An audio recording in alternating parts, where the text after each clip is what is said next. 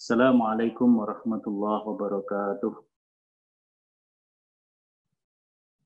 Alhamdulillahi rabbil alamin. Wabihi nasta'inu ala umuri dunya wa din. Wassalatu wassalamu ala khatamil anbiya wal mursalin. Wa ala alihi wa ashabihi ajma'in amma ba'd. Qala ta'ala fi kitabil wa adzanu minallahi wa rasulihi ilan nasi yaumal hajjil akbar. Annallaha bari'un minal musyrikin wa rasuluh. Para jamaah sekalian, Bapak-bapak dan Ibu, Alhamdulillah pada pagi hari ini kita dapat berjumpa kembali untuk melakukan kajian putusan-putusan tarjih atau fatwa-fatwa tarjih. Pada pagi hari ini kita akan mengkaji tentang fatwa-fatwa tarjih. Bagaimana dalam undangan kita akan membahas beberapa hal berkenaan dengan ibadah haji. Nanti ada beberapa masalah. Yang pertama tentang istilah haji akbar. Sebagaimana yang tadi saya baca di dalam surat At-Taubah ayat 3 Allah menyatakan wa adzanum minallahi wa rasulihi ilan nasi yaumal hajjil akbar annallaha bari minal musyrikina wa rasuluh. Nah, istilah ini atau masalah ini pernah ditanyakan kepada majelis tarjih oleh PCM Kota Gede Yogyakarta. Jadi PCM ini menanyakan apa yang dimaksud dengan istilah haji akbar. Kalau yang selama ini kita pahami dari beberapa kitab fikih, haji akbar itu adalah haji yang hari Arafahnya jatuh pada hari Jumat. Itu menurut kitab fikih terutama kitab fikih Syafi'iyah yang banyak beredar di Indonesia. Nah, sekarang bagaimana sebenarnya Haji Akbar ini seperti yang difirmankan oleh Allah Ta'ala di dalam surat At-Taubah ayat 3 yang tadi saya baca. Dalam ayat itu terjemahnya dan inilah suatu permakluman atau suatu maklumat dari Allah Ta'ala. Jadi azan itu adalah seperti maklumat atau pengumuman. Jadi kalau kita menghadapi sholat lima waktu itu ada mengumandangkan azan, itu azan itu yang pertama adalah permakluman atau maklumat akan datangnya waktu sholat. Sekaligus panggilan. Nah, azan itu berasal dari kata uzun, uzun itu telinga. Maka azan itu diperdengarkan ke telinga-telinga bahwa masuk waktu sholat. Nah, di sini azanun minallah. Jadi maklumat atau pengumuman atau panggilan dari Allah wa rasulihi dan rasulnya kepada semua manusia ilan nas yaumal hajjil akbar. Pada haji akbar. Pada hari haji akbar. Annallaha sesungguhnya Allah Bari'un minal musyrikina wa rasuluh. Sesungguhnya Allah dan Rasulnya berlepas diri dari orang-orang musyrik.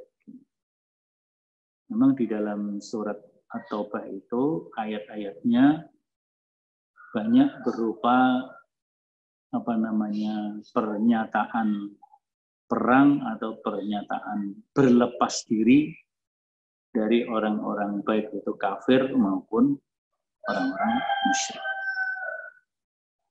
Tapi yang kita bicarakan di sini adalah terkait dengan Yaumal Hajjil Akbar.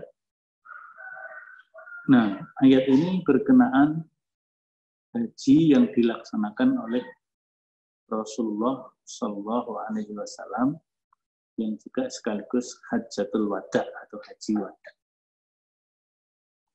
Dalam hadis riwayat At-Tabari anna yaumal hajjil akbar yaumu arafah. Jadi kalau menurut hadis ini yang dimaksud haji akbar itu ya hari arafah itu. Jadi tidak mesti hari arafahnya hari Jumat. Dengan menelusuri sejarah, dapat diketahui bahwa Haji Akbar itu adalah hari wukufnya Rasulullah Shallallahu Alaihi Wasallam di Arafah yang memang pada saat itu jatuh pada hari Jumat.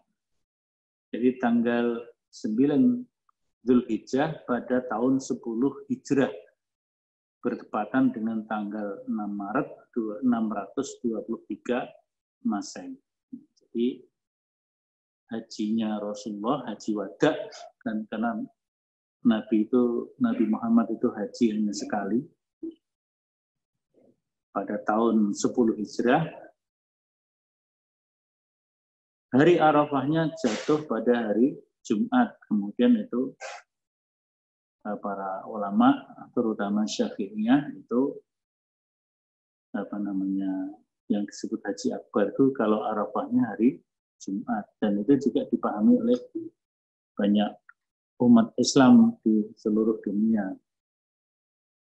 Sehingga dulu-dulu apabila apa namanya sebelum ada peraturan kuota-kuota antar negara tentang jamaah haji itu kalau Arafahnya jatuh hari Jumat maka jamaah hajinya mesti membludak, membludak karena ingin sama-sama me, me, mengalami beribadah haji pada haji akbar. Tapi kalau menurut hadis dari Tabari ini bahwa anna yaumal hajjil akbar yaumu arafah yang dimaksud haji akbar ya ya haji kapan saja yaitu pada tanggal 9 Zulhijjahnya yaitu pada saat para jemaah haji melakukan wukuf di padang Arafah. Eh, di dalam tafsir Al-Manar Ridho mengatakan waqad kana yaumu arafata ama hajjatil wada yaumul jum'ah.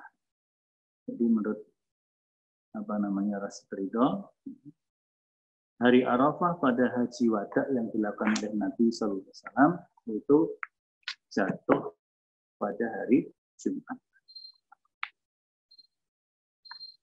Sehingga Rasid Ridho dalam tafsirnya menambahkan bahwa orang awam menamakan tahun yang terjadi wukuf di Arafah pada hari Jumat adalah Haji Akbar keterangan lebih rinci mengenai Haji Akbar nanti dapat dibaca dalam tuntunan manasik haji yang diterbitkan oleh Majelis Tarjih. Jadi kalau menurut Majelis Tarjih, Haji Akbar itu sebenarnya ya, ya hari Arafah. Pas wukuf itulah yang disebut Yaumal Hajjil Akbar. Tidak mesti yang arafahnya hari Jumat. Allah alam bisawab. Jadi itu apa namanya berdasarkan riwayat-riwayat tadi seperti itu. Ini mengenai haji akbar. Kemudian masalah yang kedua, ini ada pertanyaan dari keluarga atau anggota Muhammadiyah tidak menyebut namanya di daerah Magetan, Jawa Timur. Jadi penanya ini me, me, me, menanyakan kepada Majelis Tarjih, tim fatwa tentunya, bahwa kebiasaan di masyarakat sekitar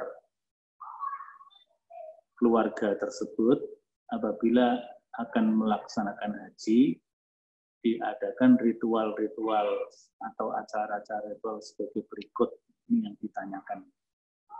Yang pertama ada ritual mujahadah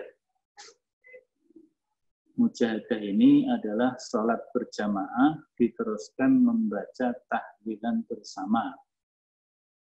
Jadi orang yang akan berangkat haji mengadakan acara mujahadah di rumahnya, yaitu melaksanakan sholat berjamaah, tidak disebutkan sholatnya sholat apa, kemudian membaca tahlilan. Kemudian yang kedua, membaca Al-Quran secara bersama-sama. Kemudian yang ketiga, kalau yang melakukan ibadah haji sedang sa'i, tawaf, dan wukuf, sehingga butir A, B, C di atas semakin ditingkatkan. Kemudian yang keempat adalah upacara pemberangkatan haji dilepas dengan mengumandangkan azan. Ini yang ditanyakan. Apakah hal-hal tersebut ada landasannya apa tidak? Nah, fenomena itu menurut penanya pada akhir-akhir ini banyak warga Muhammadiyah di tempat kami yang juga ikut-ikutan melakukan upacara seperti tersebut di atas. Bisakah kegiatan tersebut dilakukan oleh warga persyarikatan? Ini pertanyaannya begitu. Eh, Majelis Tarjih memberikan jawaban persoalan yang ditanyakan sepanjang apa sejauh yang diteliti oleh Majelis Tarjih tidak ada dasar hukumnya. Tidak ada dasar hukumnya. Baik itu tradisi atau ritual mujahadah, kemudian membaca Al-Quran secara bersama-sama dikhususkan bagi keluarga yang mau berangkat haji. Jadi misalnya besoknya itu berangkat, malamnya ada mujahadah dan baca Al-Quran atau beberapa hari sebelumnya. Kemudian pada saat nguntap ke pemberangkatan itu dikumandangkan azan. Nah itu tradisi-tradisi tersebut semuanya menurut pandangan Majlis Tajib tidak ada dasar hukumnya baik dari Al-Quran maupun As-Sunnah. Sehingga yang dilakukan oleh masyarakat itu adalah sekedar tradisi saja atau budaya saja. Tapi kalau tradisi atau budaya itu dianggap sebagai sebuah syariat, maka itu bisa jatuh menjadi bid'ah. Kalau tahlil sendiri membaca la ilaha illallah dan membaca Al-Quran bersama-sama, yang tidak dikaitkan dengan hal-hal tertentu seperti dikaitkan dengan orang yang mau berangkat haji itu ya hal yang baik saja. Membaca kalimat tauhid la ilaha illallah itu sesuatu yang baik jadi bertahlil itu baik tahlilan juga baik tapi kalau di dikaitkan dengan ritual tertentu, maka itu menjadi sebuah tradisi. Kalau itu dianggap sebagai sebuah syariat, maka jatuhnya bisa menjadi bid'ah. Bid'ah itu hadis Nabi mengatakan man amila amalan laisa alaihi amruna fahuwa raddun. Barang siapa yang melakukan suatu amalan dalam hal ibadah yang laisa alaihi amruna yang tidak ada perintahnya, tidak ada tuntun, tuntunannya dari aku, dari kami Rasulullah SAW, bahwa raddun maka ia tertolak. Dalam hadis yang lebih lebih tegas lagi, hadis Bukhari, fa inna astaqal hadis kitabullah.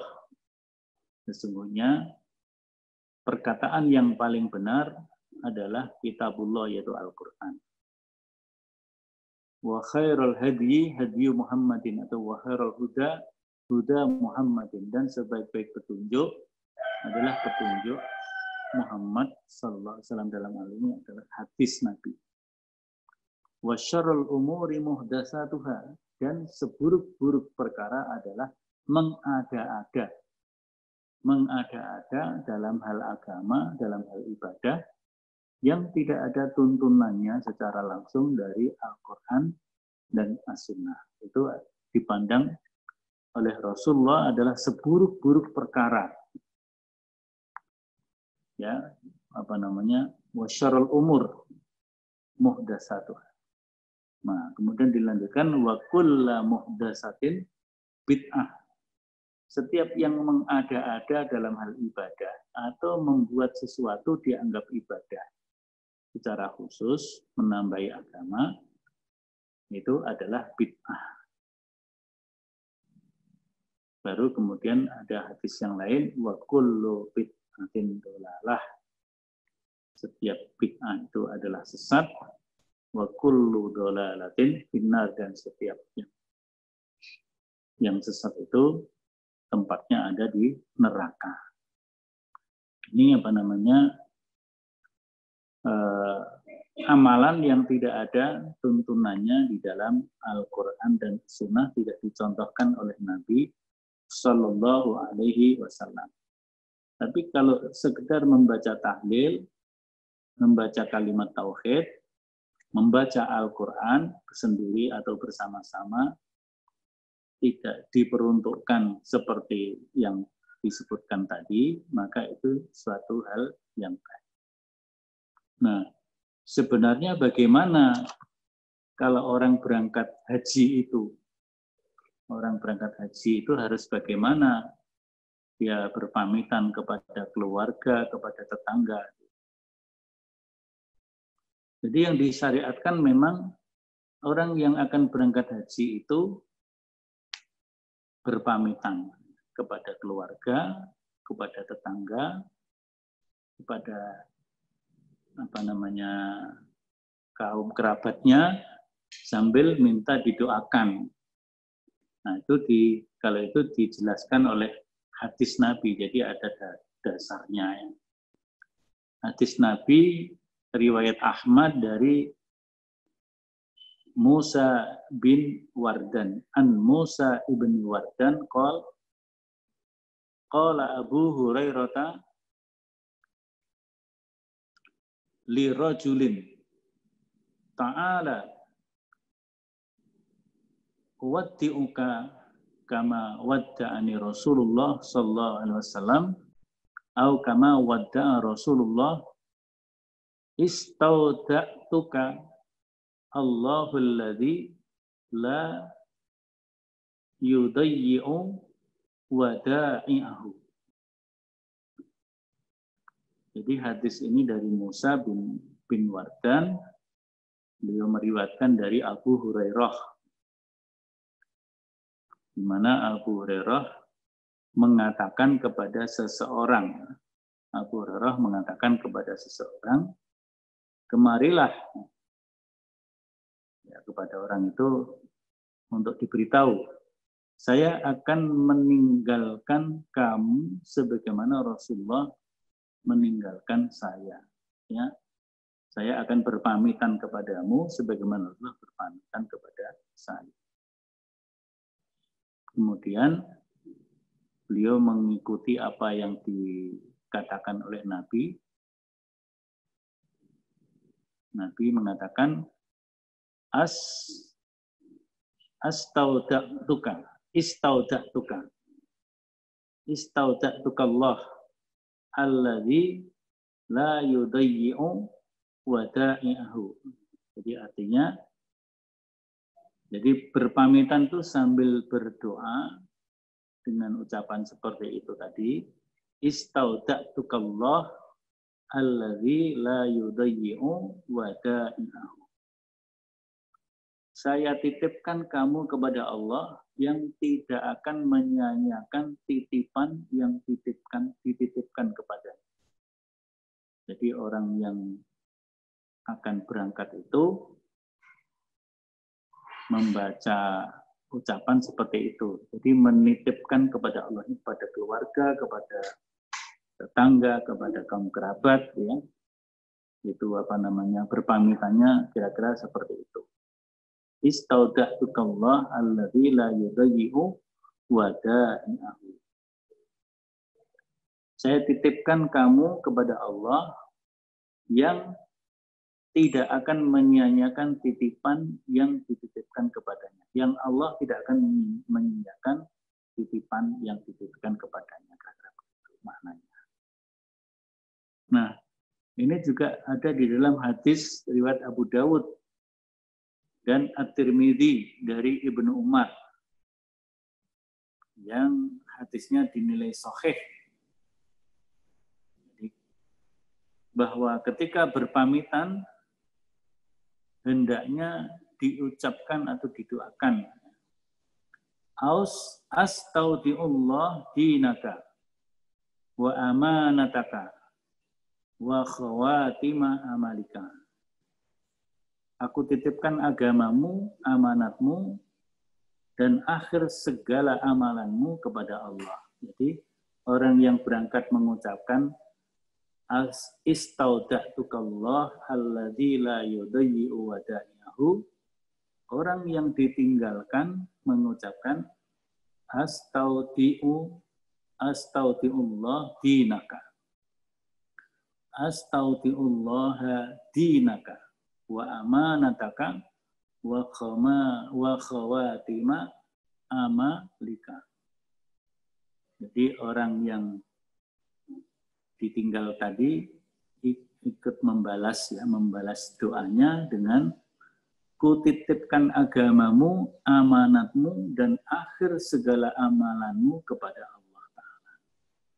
Jadi astautiullah dinaka wa amanataka wa khawatima amalika. Jadi ini tuntunan kalau orang berangkat haji itu pamitannya seperti itu. Kalau kembangannya, kemudian ada hidangan-hidangan bermacam-macam, nah itu monggo. Jadi mengundang untuk ada pengajian di rumahnya atau pengajiannya dibawa ke masjid, kemudian memberi hidangan, ya pamitan, nah, itu kira-kira yang bagus adalah sebagaimana hadis Nabi tadi, orang yang berangkat mengucapkan kepada yang dipamiti tadi, istaudatukallah alladzi la yudayyi'u wada'i'ahu. Kemudian orang yang dipamiti menjawab, astaudiullah dinaka wa amanataka wa khawatima amalika. Mungkin nanti bisa kita tulis, kita kirim ke berbagai grup ya. kalau orang berangkat haji tidak sekedar pamit dalam arti seperti biasa pamit kemudian hmm, apa namanya minta diamat awat awati rumah dan keluarga yang ditinggalkan dan sebagainya gitu tapi juga ada apanya ketergantungan kita kepada Allah. Kita menggantungkan kepada Allah. Jadi orang yang ditinggal pergi tadi dititipkan kepada Allah. Dan orang yang berangkat itu juga dititipkan juga kepada Allah. Jadi orang yang berangkat tadi karena akan mengamalkan ibadah haji, maka kutitipkan agamamu, amanatmu, dan akhir segala amalanmu kepada Allah. Jadi ini kalau tuntunan yang ada seperti itu, jadi tidak tidak diazani. Ya, mungkin itu diibaratkan orang pamitan haji itu seperti orang yang seperti orang mati ya. Kemudian berangkat diazani seperti mayat mau diberangkatkan dari dari rumah duka ke makam itu juga diazani. Tapi itu semuanya baik untuk jenazah yang mau berangkat diazani itu semuanya tidak ada tuntunannya juga.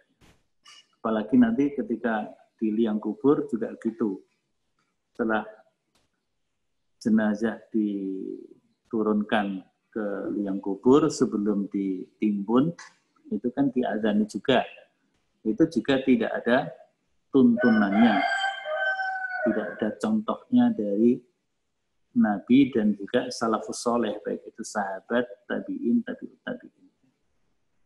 Nah kenapa itu dilakukan? Allah alam ya. Itu sejarahnya seperti apa? Perlu ditelusur sejarahnya. Kenapa ada azan ketika eh, apa namanya jenazah diberangkatkan dan ketika jenazah dimasukkan ke liang kubur. Maka kalau di warga persyarikatan eh, itu tidak menjadi amalan karena memang tidak ada tuntunan syariatnya dari Nabi Sallallahu Alaihi Wasallam. Jadi itu dua hal. Yang pertama tentang haji akbar, yang kedua tentang masalah keberangkatan atau orang berangkat haji dilepas dengan adzan hukumnya seperti apa dan bagaimana seharusnya pamitan haji itu dilakukan. Kemudian yang ketiga, jadi kita bahas tiga masalah ini saja. Yang ketiga adalah wanita berangkat haji tanpa mahram. Tanpa, kalau bahasa kita, tanpa muhrim. Bagaimana hukumnya? Ini apakah boleh atau tidak wanita menunaikan ibadah haji tanpa mahram? Ini ditanyakan oleh warga Muhammadiyah di Musamba, Masamba. Ada yang tahu Masamba itu mana? Mungkin Sulawesi atau mana itu? Jadi ini dari Masjid Syuhada Masamba. Mungkin Masjid Muhammadiyah juga. Uh, Majelis Tarjih mengatakan bahwa untuk menjawab masalah masalah tersebut harus membedakan antara perjalanan wajib yaitu haji dan perjalanan ikhtiariah atau perjalanan di luar ibadah haji atau perjalanan pada umumnya. Ada hadis Nabi Sallallahu Alaihi Wasallam, la tusafir al mar'atu salasan illa wa ma'ha dhu mahramin. Janganlah seorang wanita bepergian selama tiga hari kecuali ada mahram bersamanya. Riwayat Muslim.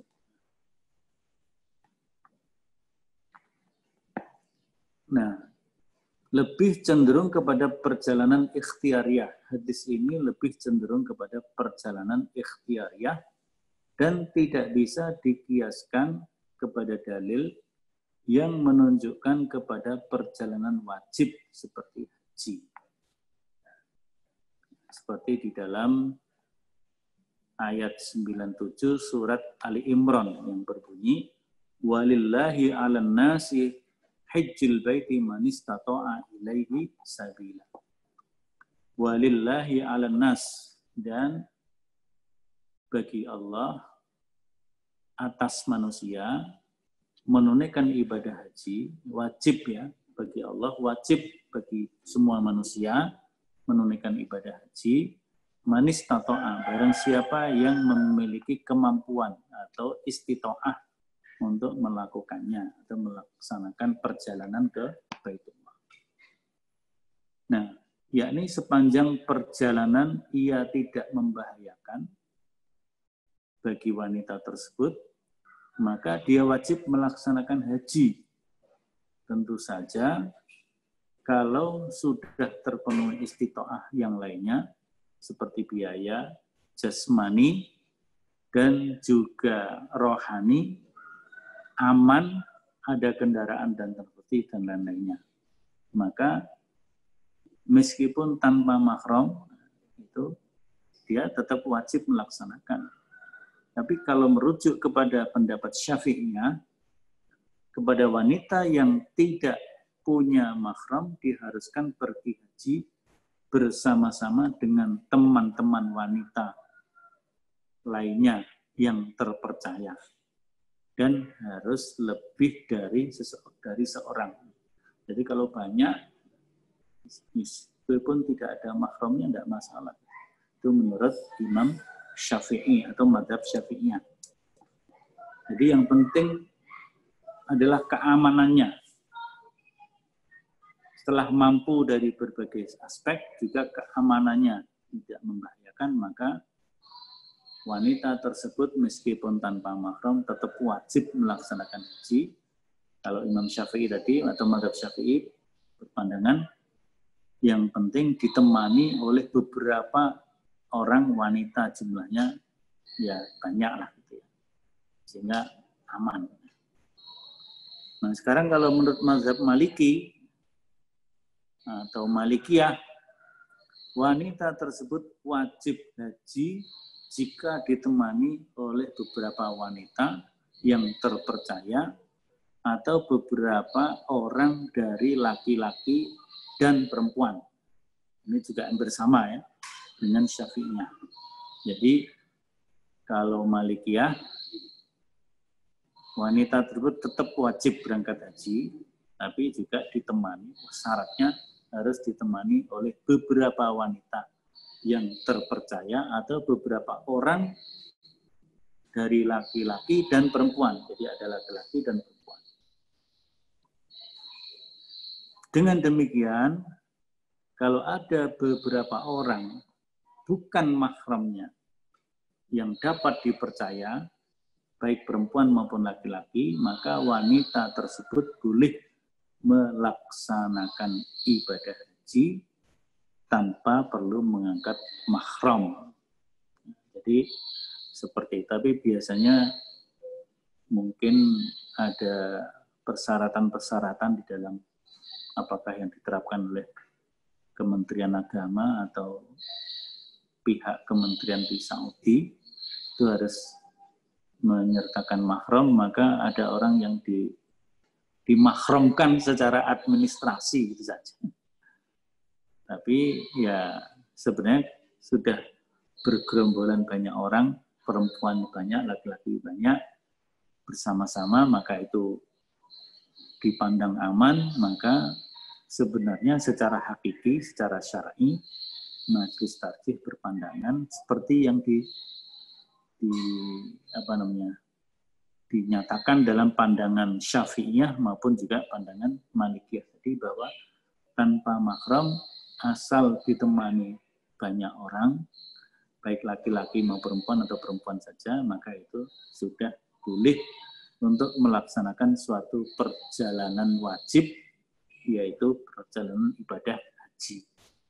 Nah, tapi kalau perjalanan yang yang pada umumnya di luar haji, namanya perjalanan ikhtiariah itu pilihan maka itu juga ada yang mewajibkan pakai makrom, ada yang tidak mewajibkan, yang penting aman.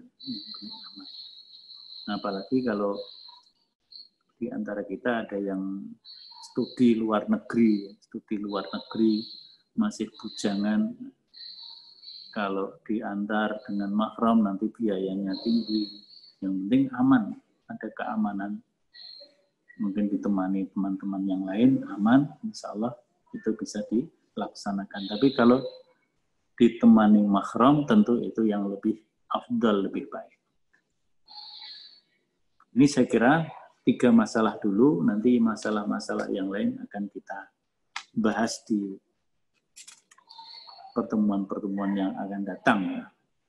ya, meskipun ya ini masih musim haji, meskipun sudah berakhir kemarin tanggal 13 Zulhijjah, tapi jamaah haji sebagian masih berada di arena haji, terutama di Mekah. Kalau jamaah Indonesia kebetulan tidak berangkat, tapi ada juga warga negara Indonesia yang yang mendapatkan kesempatan haji di tahun ini, tahun pandemi ini, tentu jumlahnya sangat kecil, ada yang dikatakan ada tiga orang atau lebih. Saya kira itu, Bapak-Bapak dan Ibu sekalian, beberapa hal tentang ibadah haji yang perlu kita ketahui. Yang pertama tentang Al-Hajjul Akbar, yang kedua tentang keberangkatan atau pamitan haji, atau keberangkatan haji dilepas dengan azan, dan bagaimana seharusnya tuntunan yang benar pamitan haji itu, dan yang ketiga tentang wanita berangkat haji tanpa mahram. Monggo kalau ada yang ingin menyampaikan beberapa masalah, kami persilahkan waktunya tinggal seperempat jam. Monggo. Di unmute. Karena tadi saya mute all biar suaranya nyaman.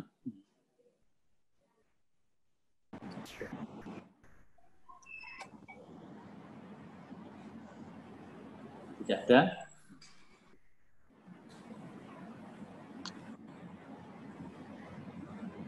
Ya Ustaz. Belum Ustaz. Enggak, silakan. Oke.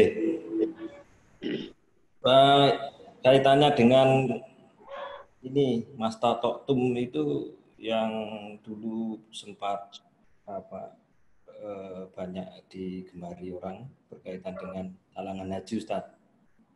Apakah masuk dalam atau tidak apa berkaitan dengan uh, kaitannya dengan Mas Tato Tum tadi kaitannya dengan talangan haji ini juga apa uh, menjadi uh, problem juga. Ya. Ya, istitoah itu kan mampu melaksanakan dari segi biaya, kemudian juga dari segi kesehatan, dan juga dari keamanan transportasi perjalanannya. Nah, sekarang bagaimana dalam hal biaya mengenai dana talangan haji. Ya, yang dipersoalkan, yang banyak dipersoalkan dana talangan haji itu adalah persoalan akad yang dilakukan oleh masing-masing bank gitu ya, secara syariat. Waktu itu ya akadnya belum jelas gitu ya. Sehingga banyak bank yang menerapkan dana talangan haji itu justru menerapkan dengan bunga atau riba sehingga itu kemudian diharamkan. Tapi kalau dana talangan haji kemudian menggunakan akad-akad syariat yang kemudian tidak memberatkan juga kepada calon jamaah haji, akadnya syariat, tidak memberatkan, insya Allah ya tidak tidak masalah.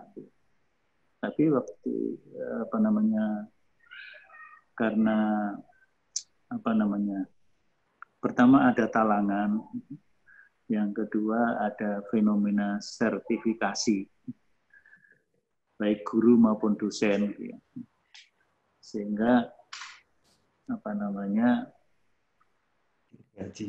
dua dua hal yang saling bertumbukan ini yang satu orang yang punya punya tambahan penghasilan karena sertifikasi, kemudian ada talangan, maka ada semangat untuk berangkat ya. ya. Akhirnya semuanya semangat, akhirnya menumpuklah antrian haji itu. Menumpuklah antrian haji itu. Maka kemudian pemerintah waktu itu melakukan mungkin juga didukung oleh Majelis Ulama dan juga Kementerian Agama melakukan pembatasan tentang talangan itu. Sehingga apa namanya supaya tidak bertumpuk antrian haji itu karena juga dalam hal ini mengalami perubahan mengalami perubahan tentang apa istitoah tadi. Tapi sebenarnya tidak masalah itu asal akadnya itu tidak mengandung riba tadi ya, tidak mengandung riba. Karena kan orang berangkat haji itu harus dengan harta yang halal, termasuk di dalamnya harus harta yang bersih dari riba. Sehingga uh, kemudian diatur apa namanya ada yang menggunakan apa itu lupa akadnya yang dipakai apa apa ijaroh ya menggunakan ijaroh atau pakai apa gitu ya. Jadi itu apa namanya atau wakalah wakalah bil ijaroh gitu ya. Jadi talangan itu kan dia menalangi mewak seperti seorang jemaah mewakilkan kepada bank untuk membayarkan terlebih dulu. Membayarkan bank kepada nah, ketika me, menjadi wakal wakil membayarkan maka dia memberi upah maka wakalah bil ijaroh nah tapi itu dihitung sedemikian rupa tidak memberatkan maka kemudian itu dibolehkan. Nah, maka ada pembatasan di situ. Maka ada pembatasan-pembatasan karena karena ada persyaratan-persyaratan yang harus dipenuhi di dalam melaksanakan sebuah akad itu sehingga dibatasi. Inilah saya kira jadi istitoahnya kalau istitoahnya tidak masalah tapi waktu itu yang pertama dipermasalahkan adalah talangan itu menggunakan apa? Mengandung riba atau tidak? Itu yang yang banyak dipermasalahkan adalah itu. Istilahnya. Terutama dilakukan oleh bank-bank yang berprinsip syariah itu diatur akadnya sedemikian rupa sehingga ada pembatasan maka insya Allah menjadi baik. Saya kira itu Pak Dudi. Masih ada Ustaz. Apa Pak Dudi pakai talangan apa?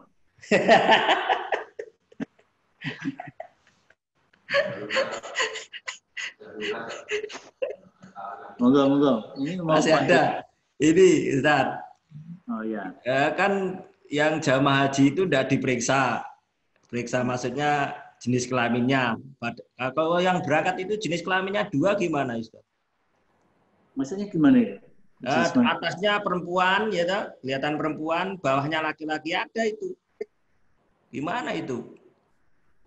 Nanti. Maksud, maksudnya gimana? Transseksual.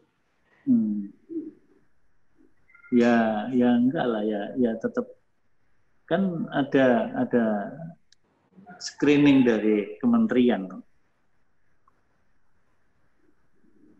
Ada screening dari kementerian. Ya mesti ya. ada ada kan ada periksa kesehatan juga itu kan.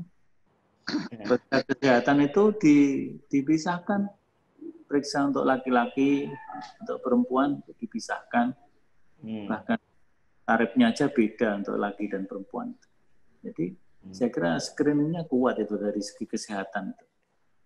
Sehingga sekaligus di situ apa namanya nggak ada orang apa namanya transseksual itu ya. Gak bisa kecuali masuk mungkin, ya. Ya, kecuali mungkin yang kalau dulu seperti siapa itu? Dorce. Dorce itu kan sudah sudah apa merubah diri menjadi perempuan. Sudah operasi dan sebagainya. Walaupun operasi itu secara fikih dipersoalkan hmm. atau di, diperselisihkan paling tidak. Tapi kan dia sudah masuk kategori perempuan karena sudah uh, operasi. Gitu. Dan semua ininya dia sudah merasa sebagai perempuan, kira-kira begitu. Satu lagi, Ustaz. Ya, silakan. Pada saat kita tawaf, itu ya. pada saat melewati rukun Yamani dan Hajar Aswad itu, kok ada hmm. yang dua dua-duanya mengucapkan Bismillahi Allahu Akbar. Itu yang syariatnya yang Muhammadiyah yang mana Ustaz? Rukun Yamani apakah perlu mengucapkan Bismillahi Allahu Akbar? Di rukun Yamani sebenarnya tidak mengucapkan apa-apa di rukun Yamani itu kalau kita bisa me menyentuh rukun Yamani kita sentuh. Kalau tidak bisa menyentuh tidak melakukan apa-apa. Kita hanya memulai membaca Robbana Atina Fidina sampai rukun Hajar Aswad. Di rukun Hajar Aswad baru kita membaca Bismillahirrahmanirrahim. Terutama kalau yang apa putaran pertama, putaran kedua cukup bahkan putaran kedua cukup membaca Allahu Akbar saja. Hmm. Itu juga boleh Bismillah ya Allah Akbar kembali juga nggak apa-apa. Jadi rukun nyaman di rukun nyamani itu kalau kita bisa menyentuh kita sentuh, kalau nggak bisa nyentuh nggak lakukan apa-apa. Apa apa namanya ada yang melambaikan tangan itu juga tidak ada tuntunannya. Kan ada yang melambaikan tangan, kemudian ada yang mengucapkan Bismillah itu tidak ada. Jadi begitu di rukun yamani, kalau kita bisa mendekati dan menyentuh, kita sentuh rukun yamani. Kalau tidak, kita nggak melakukan apa-apa, kita hanya memulai dengan membaca Rabbana atina fid hasanah terusnya sampai ajar empat baru kalau kita bisa menyentuh, mencium apalagi itu kita lakukan. Kalau nggak bisa, itu kita melambaikan tangan. Kita melambaikan tangan. Itu kalau dihajar aswad sambil mengucap Allahu Akbar atau Bismillahirrahmanirrahim.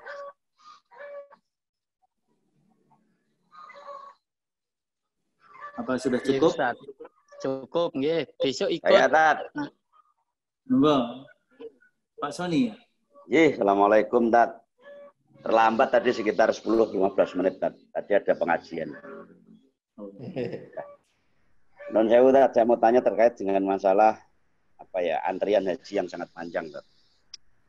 Nah, ada pertanyaan dari teman pengajian saya menanyakan sudah mendapatkan porsi haji, nomor porsi haji, hmm. siap berangkat tapi ternyata urutannya itu mundur lagi. Dia hmm. khawatir kalau sampai waktunya berangkat nanti, sebelum sampai waktunya berangkat sudah keburu meninggal dunia. Hmm. Karena teman saya ini kebetulan ya, sakit. Nah itu apakah ya, meninggal dunia sudah berstatus haji atau meninggal diurus bagaimana dari perspektif perniatannya itu? Di di hadapan Allah lah.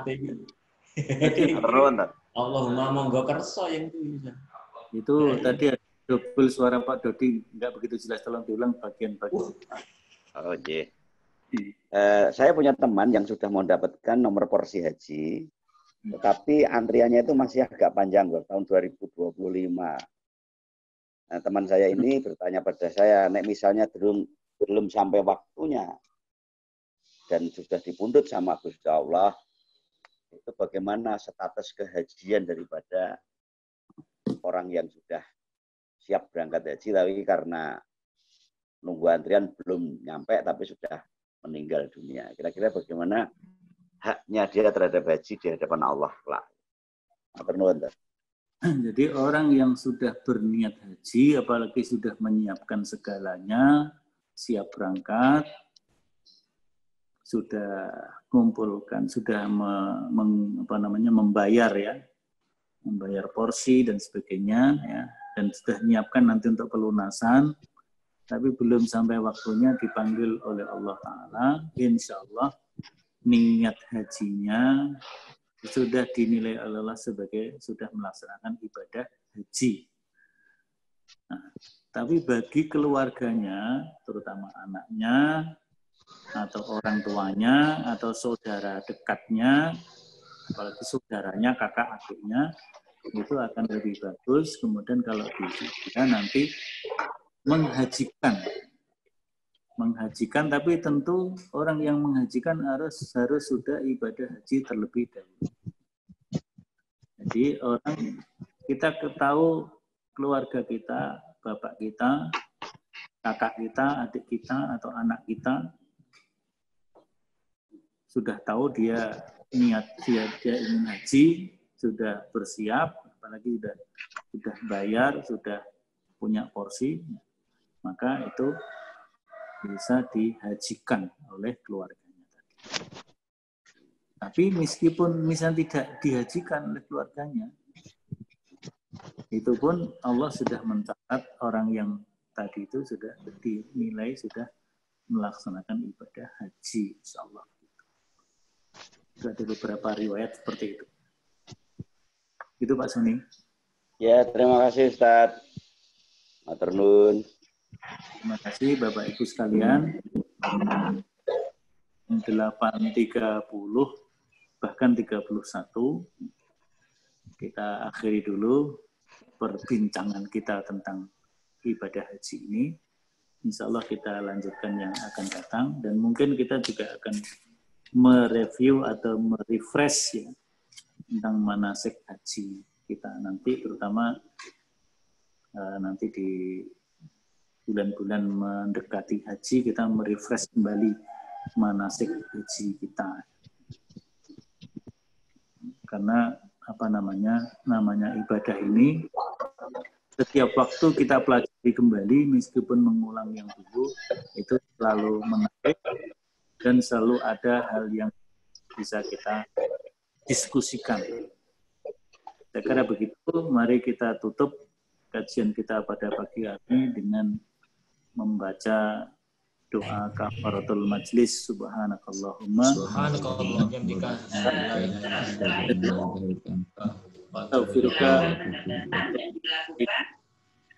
alhamdulillahirabbil alamin Alhamdulillah. Assalamualaikum warahmatullahi wabarakatuh. Waalaikumsalam warahmatullahi wabarakatuh.